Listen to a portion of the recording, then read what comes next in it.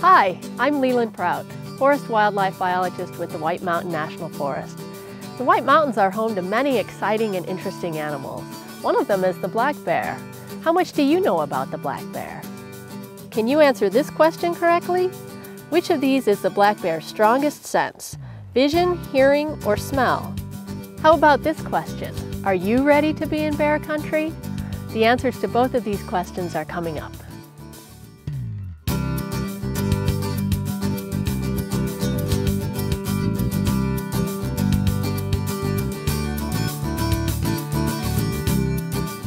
Bears are among the first animals children learn to recognize. Encounters with bears in the wild are remembered and retold for years to come. As we're learning more about black bears, our tolerance of them is increasing. This may lead to trouble, however, for humans as well as the bears. To help prevent an increase in problem bear encounters, follow these general guidelines. If you see a bear, enjoy it from a distance. Advertise your presence by speaking loudly and waving your arms or walking slowly away.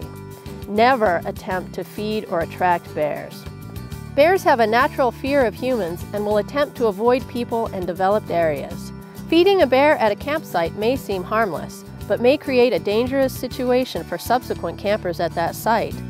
Feeding a bear leads directly to problem behavior, possibly leading to the bear being removed from the forest or destroyed.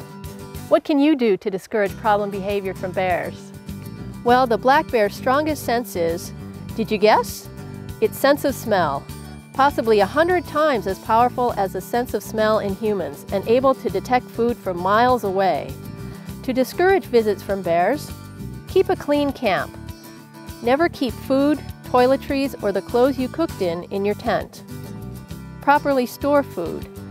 Put food, trash, and toiletries where bears can't get them, including bear-proof dumpsters, closed vehicles, bear-proof canisters or lock boxes, or a proper bear hang when in the backcountry. Thoroughly clean grills. At homes, keep bird feeders only in winter. Don't put meats or sweet-smelling fruit rinds in compost piles and keep pet and livestock food indoors or in airtight containers. Again, never intentionally feed a bear.